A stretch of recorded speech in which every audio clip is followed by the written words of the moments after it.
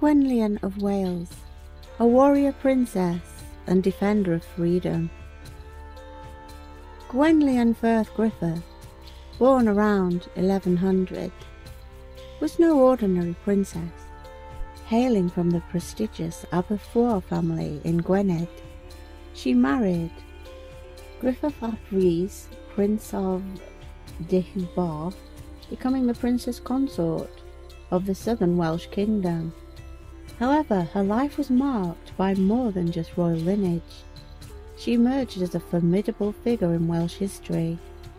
Gwenllian, the youngest daughter of Gruffudd ap Cynan, Prince of Gwynedd, grew up in the heart of Aberffraw or Onions Anglesey. Blessed with striking beauty, she was the jewel of the family with a storied lineage. Gwenllian's destiny took a turn when she married Gruffydd ap Rhys, Prince of Deheubarth, becoming the princess consort of the southern Welsh kingdom after his visit to Gwynedd in 1113, solidifying the union between the two Welsh realms. Together, Gwenllian and Gruffydd had a substantial family, raising their children amidst the challenges posed by Norman incursions in South Wales. As Deheubarth faced the relentless threat of Norman invasion, Gwenllian embraced her role not only as a princess but as a warrior defending her homeland. She and Gruffydd led daring retaliatory strikes, employing lightning raids against Norman-held positions in the mountainous strongholds of Wales. In 1136, an opportunity arose for the Welsh to reclaim lands lost to the Marcher lords. The political upheaval in England during the anarchy presented a chance for the Welsh to resist Norman influence.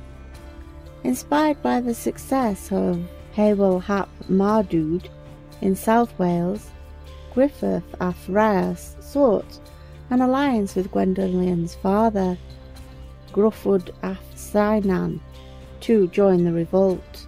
While Gruffydd sought support in Gwynedd, Gwenllian faced the harsh reality of defending Deheubarth against Norman raids led by Maurice de Londres. Her valiant efforts reached a tragic end near Kidwelly Castle when she was captured, beheaded, and her son Morgan was slain in battle. Gwenllian's legacy continues to live on, not just in the pages of history. Her patriotic revolt, though ultimately defeated, inspired others to rise against Norman oppression. The Welsh of Gwent, led by Earl of, Worth of Aulgwain, venged Gwenllian's ambushing and slaying the Norman lord Richard Fitzgilbert de Clare in Ceredigion.